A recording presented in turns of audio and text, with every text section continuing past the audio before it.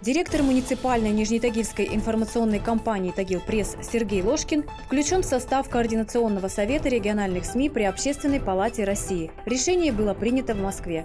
Помимо Сергея Ложкина в организации будут руководители печатных изданий, телеканалов, информагентств, отделений союзов журналистов из Москвы, Республики Удмуртия, Ставропольского, Краснодарского краев, Омска, Калининграда, Челябинска и других городов.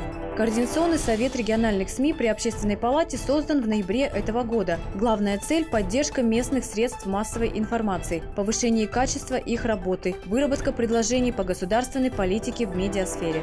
Среди принятых на 2019 год планов Совета провести мониторинг случаев нарушения прав журналистов в регионах и создание в Общественной палате Российской Федерации горячей линии по нарушению этих прав.